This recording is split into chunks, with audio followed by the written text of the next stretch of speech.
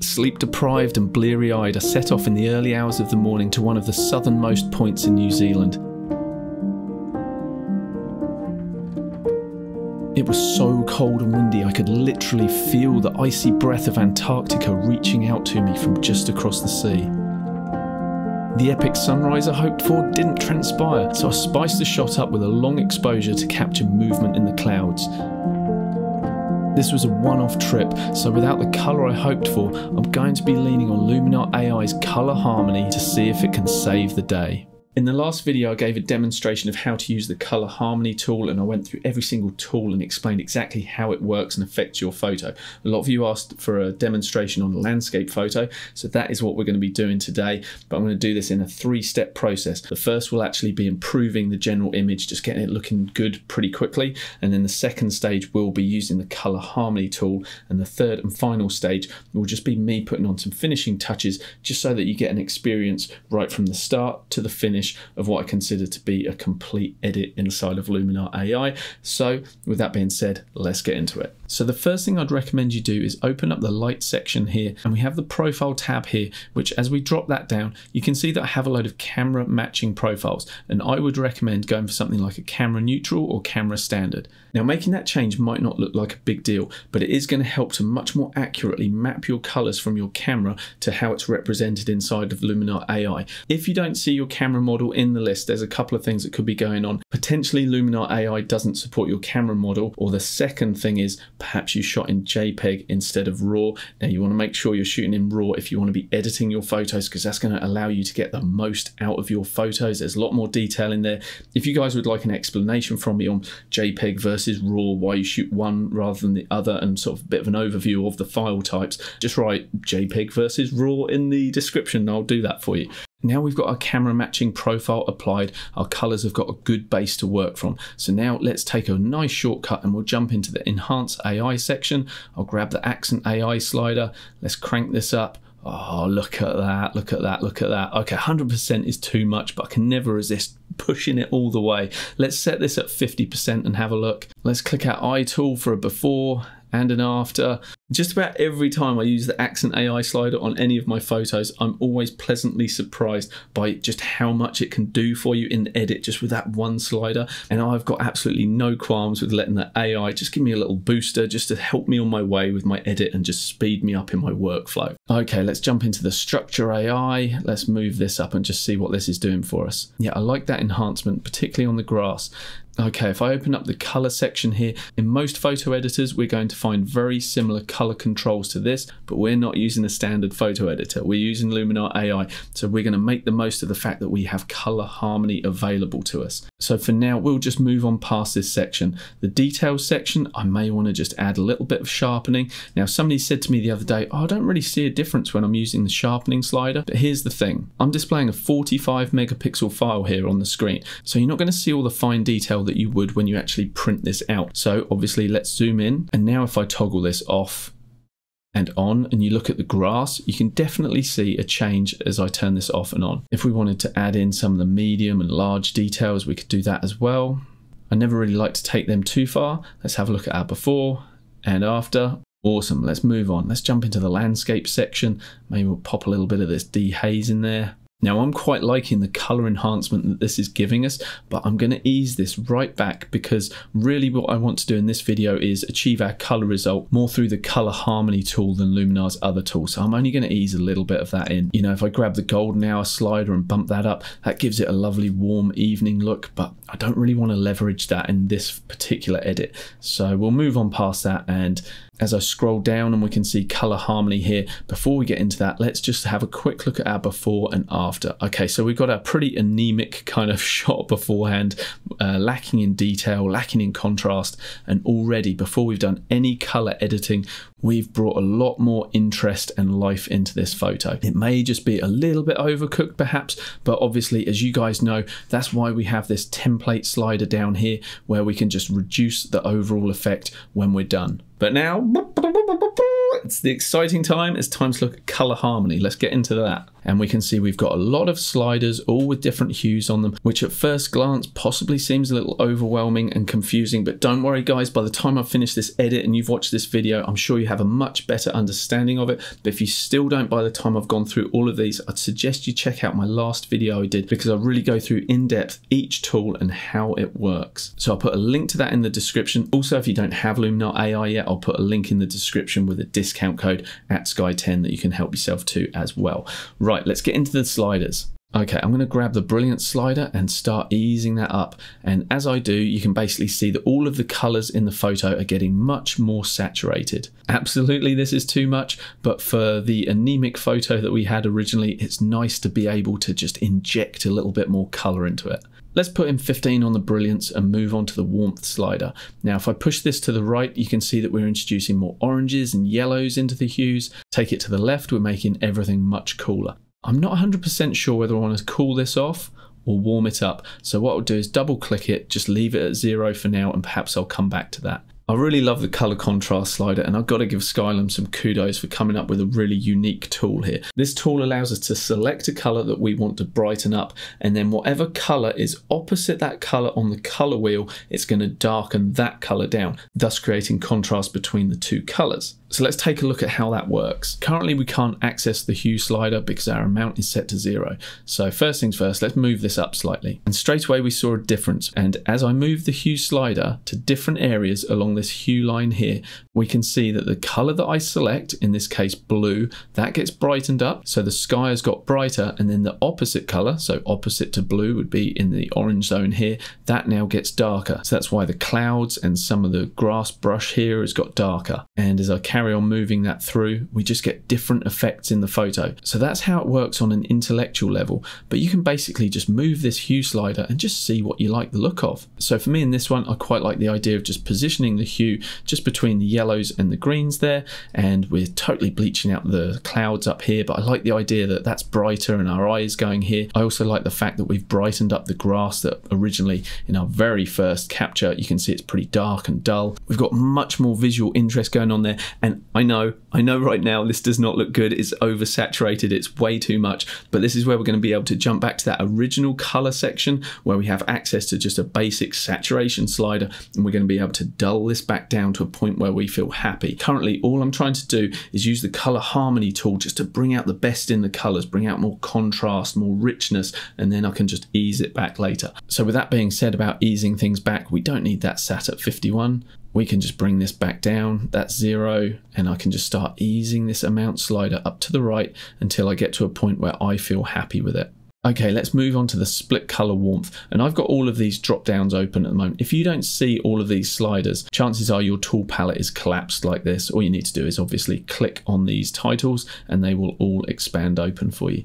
So the color warmth slider, this can seem a little bit confusing, but if we take either of these sliders, the warm or the cool slider, if we take them to the right, we're going to be warming things up. If we take things to the left, we're going to be cooling things down. But the warm slider is going to affect the colours that are already warm. So the yellows, oranges, reds. The cool slider is only going to affect the colours that are initially blue, purples, greens. Okay, got that? Let's try it out. So if I take the warm slider to the right, I'm going to expect that the clouds are going to get much more orangey as they are doing. So we're introducing oranges and reds into the areas that are already orange and red. And now if I take it down to the left and let go, you can see that the lovely yellows and oranges, those nice warm colors are now devoid of color. They've been cooled off. So if you're wanting to neutralize the colors in your photo, this is a really good way to do it. But personally, I want to just pop a little bit of warmth in there. So now if I move the cool slider, we should be affecting the sky, the sea, and maybe some of these greens in the grass here as well. So what I can do is if I take that to the left and let go, you can see that the blues have been enhanced even more. Those greens have got a richer, deeper green. Whereas if I took it to the right, we're basically warming those areas up. And this is a nice tool to enable us just to bring out a bit more richness in that sky. Let's take a look at color balance now. And in this drop down, we have access to change the hue, the color of the shadows, the midtones, and the highlights. And we have access to three sliders which are going to allow us to actually change the colors. So we have cyan red, magenta green, yellow and blue. And here's a good visual hack for you. If you think back to the color contrast slider that I talked about earlier, we said that whichever color gets brighter, the opposite color will get darker. And the way colors are organized in a computer might be slightly different to how you normally think about complementary colors in like a traditional painting sense. So if you are unsure of the opposite colors, a really good thing to do is just look in the color balance tool here and you'll see the opposite of red isn't green, it's actually cyan. The opposite of green is actually magenta and the opposite of blue, unlike in the painting world where it'd be orange, in the computer it's actually yellow. But it's all right here for us in that color balance tool. So just if you're ever unsure, just have a look there. With that being said, let's have a look at how this tool works. If I wanted to push a little bit more magenta into those highlights, I can absolutely do that. Let's say I thought the highlights were a little too yellow, we could just pull a little bit more blue in there. More often than not, in the highlights, I like to add warm colors and cool colors into my shadows. So I'm just going to move these sliders just until I feel like we're warming up those highlights nicely. And now we could jump into the shadows or the midtones and we can change in the midtones the overall sort of look of the photo if we wanted to. We could push things to a more blue or cyan or if we wanted to, we could push things a bit warmer and, just keep that warm vibe going. But in this case, I don't think I want to do too much to the midtones. Let's jump into the shadows, and I'm going to put in pretty much the opposite of what I did in the highlights, which was introduce a nice warm tone. This time we're going to go to the cooler colors, so push into the cyan, push into the blue, maybe a little bit of magenta in there. Okay, if I toggle our before, we've gone from one extreme to the other. In terms of color, here we've got a bit of a washed out, tepid look. And now if I switch back to what we've just done on my eyes, it looks like a rainbow has power chucked all over our photo here. So what can we do about it? Well, we could come into the slider at the very bottom inside Luminar AI, pull that back, and obviously that's going to pull that effect back. But at the same time as doing that, it's also going to be reducing the effect of the accent AI, the structure that we applied at the beginning. And I don't really want to do that, but a more refined way around that is to use the mask that comes with the color harmony tool. And we're going to invoke it with 50% opacity, paint it everywhere, all over the photo. And so the effect that we've created here is going to be applied to our photo, but with 50 percent only. So let's have a look how we do that.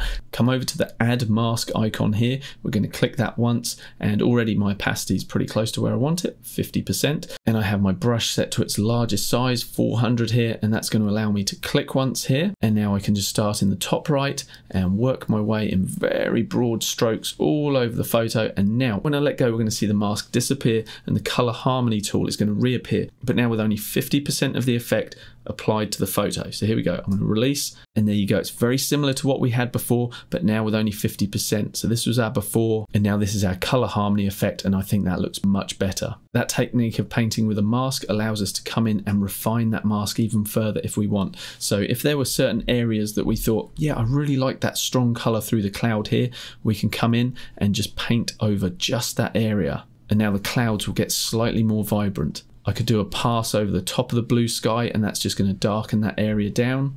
And if we felt like the foreground was just getting away on us a little bit, we can come into the eraser tool here, maybe erase it with say 30%. And I'm just going to paint quickly over the foreground like that.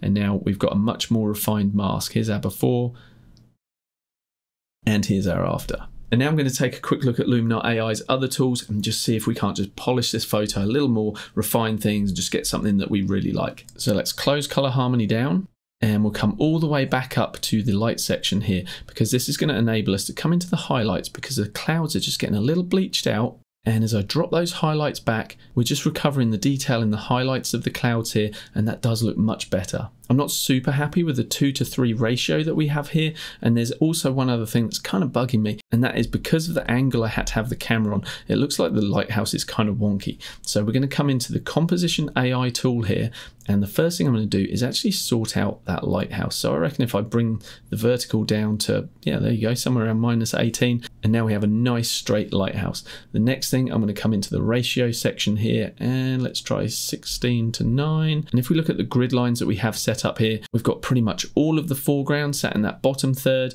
We've got all of the cloud interest, or the majority of it set in that center third, and then you have the top of the sky in the very top third. I quite like that. We could bring things up just slightly and then sit the horizon line bang on that third, but we don't need to be that precise. Let's go with that. Okay, let's jump into the colour section and just see if we can't just ease those colours back just so they're not quite as in your face as they are at the moment. So let's open the colour section here so we can bring the saturation down slightly and we can also just ease back on that vibrance. And now the HSL section, the hue, saturation and luminance allows us to control the individual colours. So for my personal aesthetic preference, there's a couple of things that I'm not overly in love with with the colours. One being just how bright and vibrant the red of the lighthouse is here, and also I don't really feel like the greens are tying in particularly nicely with this photo. So let's see what we can do. Let's come to the hue section and let's just see whether we can push those reds more into the orange hue just so it ties in better with the oranges in the clouds. In the luminance section we can grab the reds luminance and just bring that down, maybe not that far, just to darken it and we also want to desaturate those reds as well. With the greens, I've got the option to either desaturate them slightly, or another option would be to come into the hue section, just grab the greens and I'm going to force them more into those yellow hues. This is not the color harmony tool by name, but the hue, saturation and luminance section within the color tool actually allows us to enhance and build on the color harmony principles. If in your photo you've got colors from all over the spectrum, you're going to have a lot of color clashes going on. So if you're able to better unify them into a more cohesive color palette, as I was trying to do here, the chances are you're going to have a much more pleasing color palette at the end of your edit. Okay, let's keep going with our edit. I do like to add a little bit of a vignette, so I'm going to just push the amount down to minus 41 here. I might increase the size ever so slightly. And as I often recommend, just increase the feathering because that's just going to help soften it off and add to the believability. Now I'm going to come to Sky AI and we're actually going to switch out the sky. No, I'm not. Imagine that. Imagine how ridiculous that would be fine tuning the sky, working with all the colours. And now I'm going to change the sky. what a wally. Right, let's keep going. Okay, let's add some mystical. I'm going to grab the amount, and this is just going to help give us a nice, soft, ethereal, dreamy quality. Let's toggle our before and our after. And I think that just plays into the style of this photo quite nicely. Everything we've done with colour so far, we've been completely in control of. But now what I'd like to do is just leverage the power of LUTs. I really love the fact that we can just mouse over the different LUTs on the right hand side and straight away we can see what it's doing to our photo. Do we like it? Don't we like it? And when we find one that we like, we can just say, yep, I'm going to apply that. So in this case, I quite like the pinky purple vibe that San Diego is adding. So I'm just going to click that, play with the amount. Do I want more of it? Do I want less of it? Mm, just toggle it left and right. Normally I find that the amount that it starts on, which is 30, is a pretty good place for it. We can increase or decrease the contrast. We can bring back a little bit of that saturation if we want to. Okay, let's have a quick look at our anemic friend from the start. And now let's see how far we've come. That is a big change from this to this. And most of the work was done with that color harmony tool. So I hope this has been helpful for you guys. Please let me know in the comments. I could keep editing this all day. So I'm just finishing up photographing the lighthouse. Out of the water appeared three gentlemen dressed in full scuba outfit, but they've told me that there is a sea lion just down here in the grass and they walked straight past it. Um, so I'm going to put the telephoto on so as not to disturb him and see if I can get a little shot of him. So here I am set up here and if you look just there, that's where our sea lion is. Just down there, that black mark. Oh, he's lifting his fin up. I'm going to go and say hello. Arr.